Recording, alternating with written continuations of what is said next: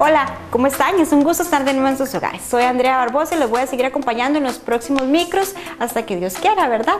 Eh, Quiero recalcarles que ahí queda mi número de teléfono y mi correo electrónico por cualquier información o si quieren que yo desarrolle algún tema específico de su interés, con mucho gusto lo voy a estar realizando.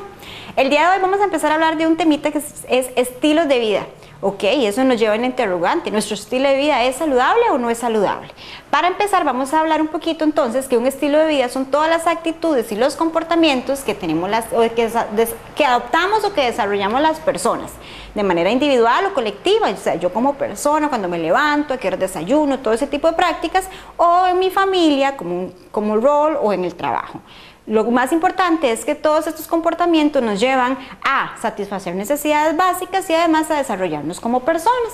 Entonces, eso sí, no siempre lo que hacemos es adecuado y saludable, por lo consiguiente es importante hacer el análisis y ver qué cosas podemos modificar en nuestra vida.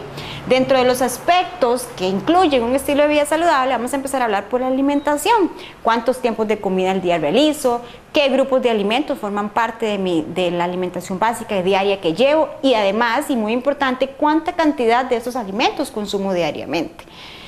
Además, otro aspecto importante del estilo de vida la actividad física, con qué frecuencia realizo, qué tipo de actividad hago, cuánto tiempo duro cada una de estas actividades, son adecuadas o no son adecuadas para mi estilo, para mi cuerpo, para mi salud.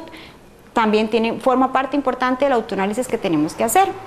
Y con mucha más razón si no realicemos ningún tipo de actividad física, ¿verdad? Otro aspecto importante en el estilo de vida es eh, el estrés. Tengo un trabajo que me genera mucho estrés, lo sé manejar bien, tengo algunas técnicas para el manejo. Fumado, si no fumo o vivo cerca de personas que fuman o las personas a mi alrededor, entonces estoy propensa a ese tipo de, de práctica inadecuada. Dormir, ¿verdad? Logro dormir las 8 horas diarias, el consumo de licor, cuánto y con qué frecuencia lo consumo, consumo de agua, ¿verdad? Si lo hago, si no lo tengo.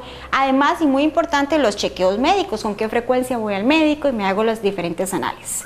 Eso nos lleva a la siguiente interrogante final, ¿cómo es mi estilo de vida? Así que les dejo esa preguntita para que ustedes la puedan contestar en sus hogares y las próximas programas vamos a empezar a desarrollar cada uno de estos estilos de vida y así podamos hacer modificaciones. Recuerden que un mal hábito lo puede cambiar todo. Y nos vemos la próxima semana y que Dios los bendiga.